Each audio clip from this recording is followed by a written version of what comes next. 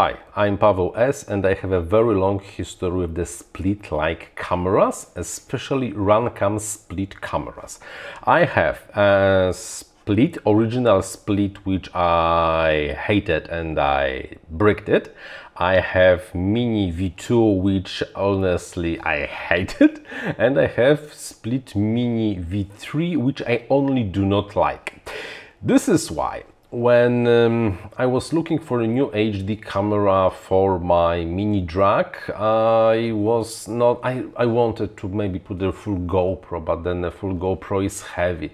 So maybe something else, something else. And then I saw in the internet that there is something called the Caddx Tarsier and that the Caddx Tarsier actually has a good opinion on the good HD camera and the FPV camera. I do not really need an FPV part because I have a Runcam Eagle 2 which is the best FPV camera and the Mini Drak is big enough to carry two cameras but yet uh, because of the video quality I saw in the internet I decided to get me a Caddx Tarsier and guess what? Two weeks later I ordered another Caddx Tarsier. But this says something about what I think about the Tarsier but before we will go into the conclusions, let's take a look at the Tarsier on my workbench.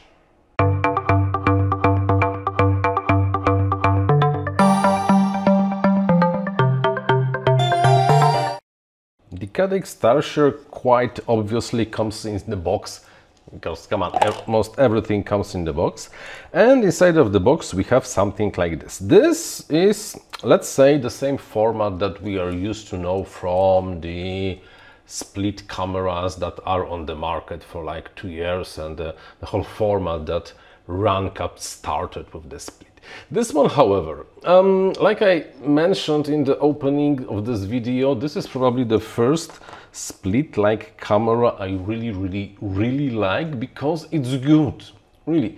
I'm not sure if this is because of the 4K or, or something else. Definitely not because of the image stabilization or how they call it, anti-shake or something like that. And they call this anti-shake so it's not really a stabilization and to be honest it's not really working. But this thing works well both as the HD camera and the recording from this small Tarsier as a HD camera should be right now somewhere there when this thing was on my Mini Drak but also the FPV part is good because the camera there is really two lenses and two cameras that one is doing one job of being the HD camera and the second one is doing its job of being the regular FPV camera. Don't get me wrong, don't get me wrong, it's not the same quality as for example the um, Runcam Eagle 2, which I really think it's the best FPV camera ever and there is nothing even close to the Eagle 2. But it's it's fine, really, it's really fun. You do not suffer while using Tarsier as a FPV camera. And don't even get me started of how crappy the whole Runcam Split series and especially Split split mini series is. I had uh, V2, I had V3 and both really really suck. This one also suck if you set the 4K mode, but if you use it on the uh, regular HD, it's really great. Nicely saturated colors, good quality, nice nice image. There are really no problems with both HD and FPV.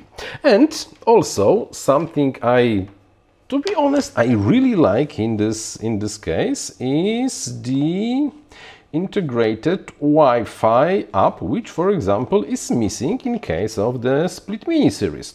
They gave up on it and okay, it's booting, it's booting. Let me enable the Wi-Fi so it starts Oh, oh yeah, now the Wi-Fi is on. And let's connect to the Think Caddx FPV. It always takes some time, unfortunately. Like I said, it really works. There are, however, like always, oh, oh, what, what the hell happened? Yeah, there are, how okay, okay you cannot of course use the Wi-Fi for any kind of FPV because of delay but this is not really the goal of this of this camera. And there are of course some settings. It comes with 4K by default. Change it immediately to 1080p 60 and also set the bitrate. Where's the bitrate? I never remember. Oh, and set the bitrate to high, and you will be very, very, very happy video. Unfortunately, there are always there are always some problems, and the problems are, in my opinion, the quality is. Um, the build quality, not the image quality. The build quality is sometimes, I have two of those by the way. I purchased two Tarsiers after using one I got me a second one because this is, I really like the first one. The, for example, this one, this radiator, this heatsink over here, in this one, the thread holes over there were not done. They were not complete. I had to really make the holes to be able to put screws through them. Also, uh, you can feel on the edges of the PCB that maybe really the quality is not the best and maybe this is this is the reason that this cost uh, how much it cost and not twice as much. Also, I do not like the cable. It's very, let's say, stiff and I have a feeling it will break easily. There is a second one in the in the somewhere here so you can replace it if it breaks. But I would prefer something softer like for example Runcam does right now in their uh, split and hybrid series. And also I got the ND filter by default so which is really really really great what else I don't like? I don't know why, but they always put the buttons and the SD card slot on a different size. I'm, I will be mostly using this on an aeroplanes. I would, and I would really like to have both the SD card and the USB and the buttons on the same size, so I do not have to like design a special mount for it. Oh, by the way, yeah,